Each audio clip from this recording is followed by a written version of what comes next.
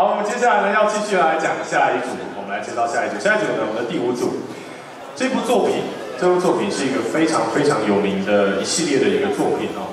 那如果你有看过《Fate Stay Night》，中文的翻译好像叫《命运永驻之夜》吧？啊，这是中文的一个翻译啊，就是在台湾电视台播放的时候，台湾电视台是有播过的。《哦 Fate a Night》的前传小说哦，它原本是它的前传小说，后来呢，在二零一一年的时候呢，我们就把它改编成为了动画版，讲的是呢，在《Fate a Night》之前的故事，第四次的圣杯战争。那在今天的第五组的这个参赛者 Wins 跟主攻呢，将会用舞台剧的方式来呈现两段故事，而他们的角色呢，当然在整个 Fate 系列里面有非常多很受欢迎的一个角色。其中最受欢迎、最有人气的，我想莫过于呢是 Saba 的这个角色，很多人都很喜欢啊。那在这个在 Fate Zero 当中呢，Saba 呢是由魏公切斯所召唤出来的从者剑兵。对，那他的真实身份是亚瑟王，就是从历史当中的很知名的人物。而另外一位呢是 Lanza。对，今天的另外一个角色是 Lanza，在《f a c e Zero》当中，Lanza 呢是由 Katniss Elmelio Archibald 所召唤出来的另外一位从者枪兵。这个角色在历史当中也还蛮有名的，在爱尔兰的神话故事当中是一个英雄，叫做迪尔姆的奥迪娜。接下来，我们就以热烈掌声来欢迎第五组 Wings 以及主攻他们带来的《Face Zero》。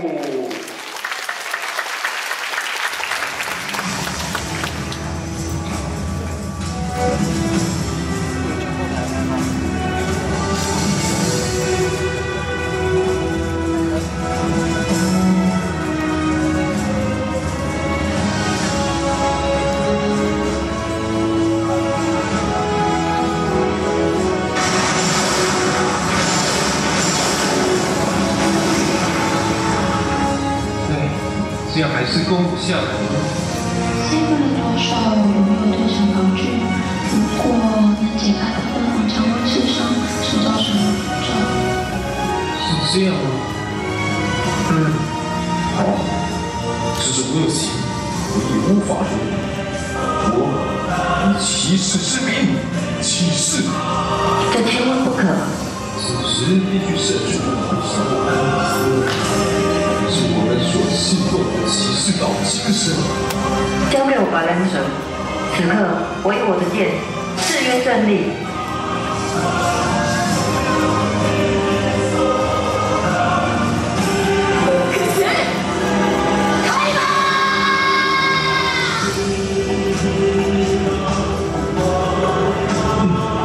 今天在场会战之后，应该消耗了不少吧？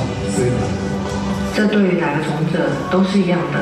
我想今晚是我们一决胜负的时候了。现在能够引起我斗志，也只有你，所以。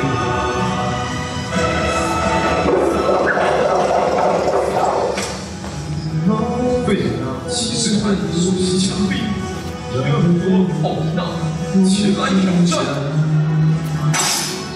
不列颠王。阿尔托利亚，他的阿梦在此应战。既然你有必胜把握，就应该带着 Master 后走啊！蛮大，这个色的。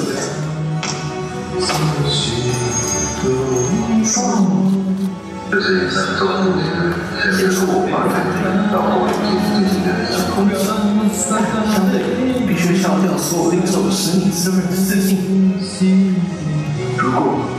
如果在这里放弃了，我的战斗就结束，只是要将圣杯还有阿奇波尔德家的荣耀全部都给舍弃掉吗？做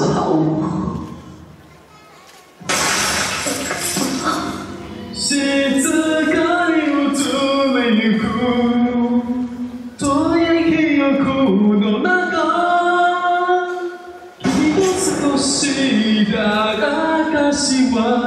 確かにここにある溢れ出す気持ちを教えてくれ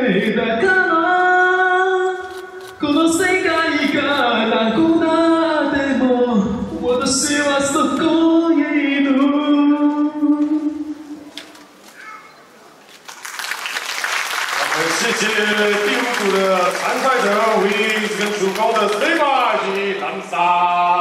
来来来来下面接着我们往前站一步我们给大家看一下刚刚好多人有哇哦的一声没有听到吗？还是还是你太专心其实没有听到那个 cyd 把那个剑再来一次那个再来重现一次哇哦的那个场景哦有人说哇哦在黑暗当中看到这样子的剑真的是真的会吓一跳真的有放绝招的一个感觉哦。那非常精彩的一个武器，两个其实在这个武打的部分排练了很久嘛，因为其实看起来默契非常不错。